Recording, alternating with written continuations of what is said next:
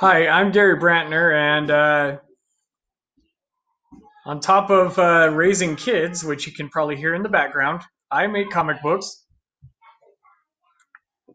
and I am making videos to share with you how I make those comic books. So, one of the things I've been doing is, uh, well, I'm working on. Okay, that didn't sound right. Anyway that's one thing about this. I'm pretty low budget. I'm just showing you how to do it. I don't have any big production here, so just to be honest with you. Anyway, uh, I'm working on page 19 of Peter Pan and the Vampire's fourth issue, and I hit a little snag. One of my characters, Pele, turns into lava, and uh, and lava uh, is not good on clothes, so it burns her clothes away. So when she's changing from lava to human form, she has a little problem of uh, not having clothes. And so, with that problem, I have to figure out ways to draw her and still be PG 13. So, uh, yeah, I've been struggling on this page for a long time. As you can see right here, is my roughs. That's what my page looks like. Pretty rough. Uh, there's my Peter Pan the Vampire comics that you can get on indieplanet.com. That's the hard copies. You can download them for free, or you could buy those prints. And so back to my comic book. Uh, yeah, my I usually write a script page, one page per each page that I actually draw. And uh, on page 19, I am uh, trying to. I've been hitting an artist block on how to draw Pele uh, getting back into her clothes by uh, staying PG 13 also. And so I figured out that uh, I'm going to pose my action figures in the in the way of the scene and then draw each action figure as my characters. And there's way too many characters in this scene to just figure it out in my head. So I had to use all my action figures to do it because I've got uh, Peter Pan, Wendy, Maui, Pele, and Gwen, and Tinkerbell, and also multiple Wendy's. So it makes it really hard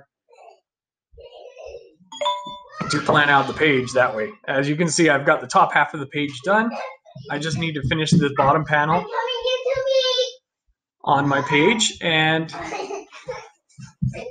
yeah, so I'm going to show you now a video of me time lapse.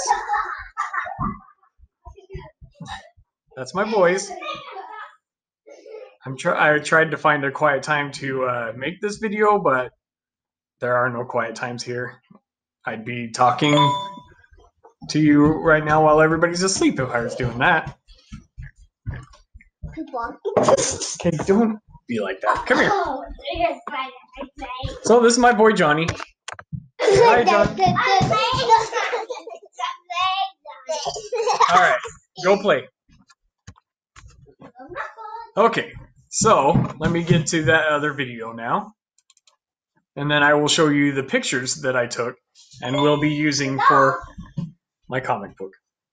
So right now I just set up uh, Multiple Man as Peter and a Black Widow as Wendy, and then a Spider Man with wings on it as Gwen, Superman as Maui, two multiple men as Wendy's, and Tinkerbell in there, and there's a Pele in the back. She's behind a wall of ice that you can see through, so. So I uh, put her back there to display. Let me run that one more time. And play. So, yeah. So I set up my figures to plan out my scene. and yeah, it's pretty interesting watching it. I sped it up to make it more interesting because wow, it was like 16 minutes of me trying to get figures to stand up and they kept falling down.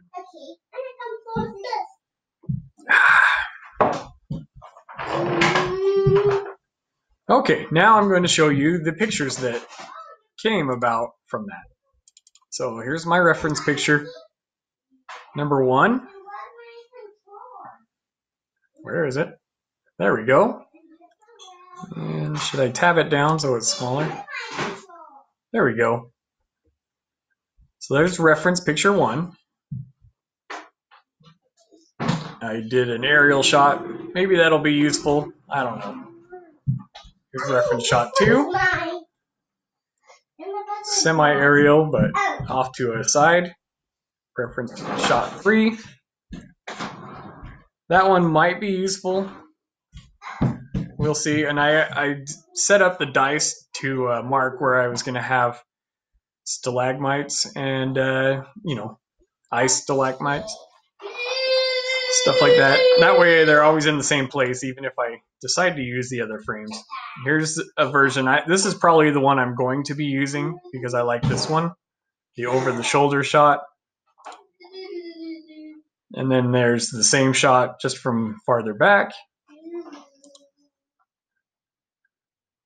And there's another angle. So, yeah, I use references a lot. Sometimes I do this a lot to plan out the scene. I don't know if I'll use this shot because Gwen is blocking Win- Tinkerbell here. But and right now, these two uh, Wendy's are reabsorbing each other to cut down on characters in the scene. That'll be fun to draw in the background. Uh, oh yeah, this mug is uh, my Rentnarb Studios mug that I got from Redbubble.com. I can get anything I draw put onto a mug or a shirt. So obviously, I have a mug. Well, my wife bought me this mug for my birthday last year. and it was it was very nice, a very nice surprise to uh, get a whole bunch of Rentnarb stuff. I got a nice Rentnarb pillow stuff. And uh, if you're interested in Rentnarb Studio stickers or shirts, you can also go there and get one. This is the website oh, right here. Uh, redbubble.com. Look for Gary Brantner. For some reason, they wouldn't let me do my name as Rentnarb Studios? I don't know. Either way, if you look search Rentnarb Studios in Redbubble, you will find a Rentnarb Studios shirt and mug. And enough about that though. So yeah, let's see. This right here, shot number four, is I think the one I'm going to use. So pretty soon, uh, I will be drawing that one and I will be showing you how I draw that one. From pe- early pencil sketches, roughs, right down to putting it on the page and then inking the page. So uh, that should be fun. yeah. All right. So, in ending, um, thank you for watching Rentnarb Studios comics on on YouTube. Subscribe to be able to have notifications on uh, when the next videos are coming up.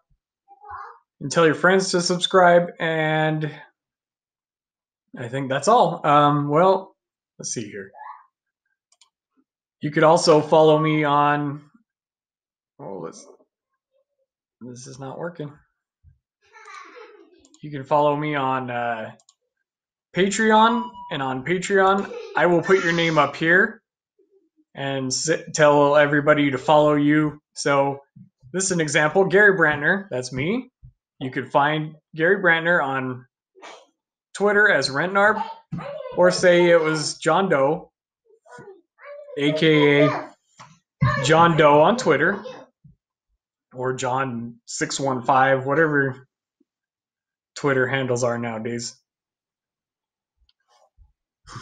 That didn't make me sound old. Anyway, so if you back me on Patreon, I will uh, give you a shout out on my YouTube channel. But then again, thanks you, thank you for watching Rentnarb Studios comics on YouTube and subscribe so that you know when the next video is up. That way you can watch me draw the scene that I just took pictures of. And uh, that will be all.